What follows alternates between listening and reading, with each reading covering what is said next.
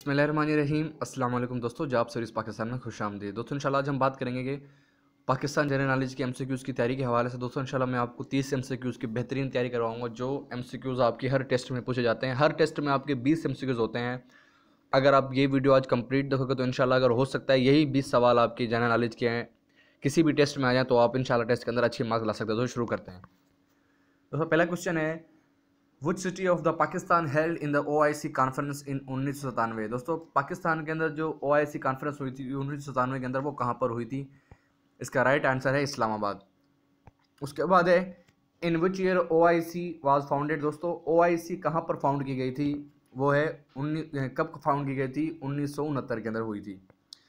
उसके बाद है length of common border of Pakistan and Afghanistan Pakistan और अफ़गानिस्तान बॉर्डर की क्या लेंथ है वो है? बाईस बावन के एम ठीक है दोस्तों? उसके बाद है in which year Pakistan and China joint venture of J F seven thunder aircraft started Pakistan का जो जे एफ़ थंडर एयरक्राफ्ट है, वो कब स्टार्ट हुआ था? 2003 में स्टार्ट हुआ था।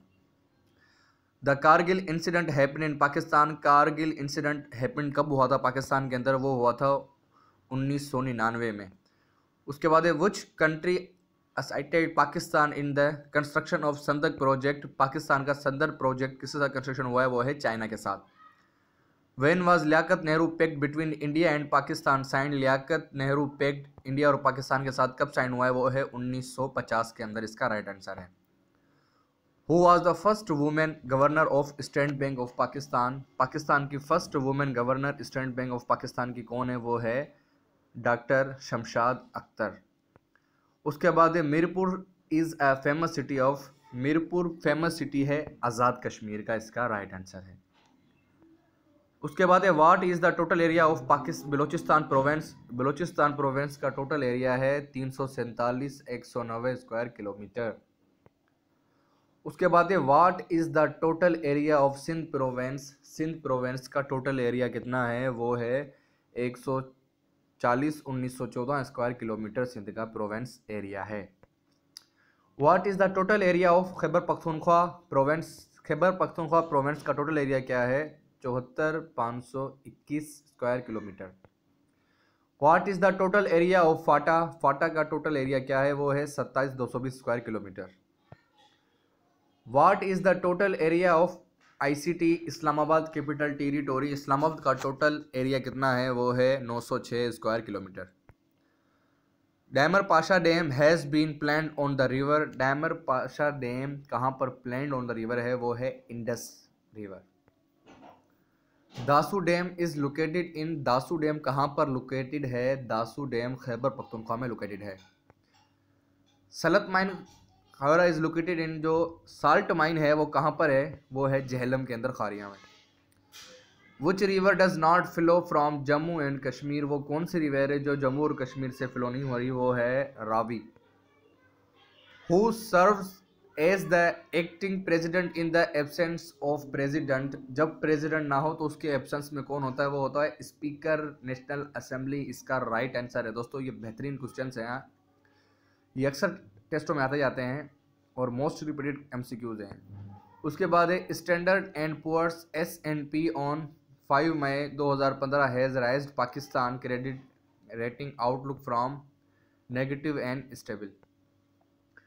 The head quarter of navy is located in Pakistan navy का हेड क्वार्टर है इस्लामाबाद के अंदर। ठीक है दोस्तों? The head quarter office of institute of chartered accountant of Pakistan A C A P is Karachi के अंदर है पाकिस्तान का chartered accountant head of institute total number of seats in national assembly are of Pakistan of Pakistan are Pakistan की national assembly की seat दोस्तों पहले तीन सौ बयालीस थी, अब अगर करंट में चेंज हुई हो तो उसके अपने एम को पढ़ के राइट कर लेना है, वैसे तो तीन सौ बयालीस थी।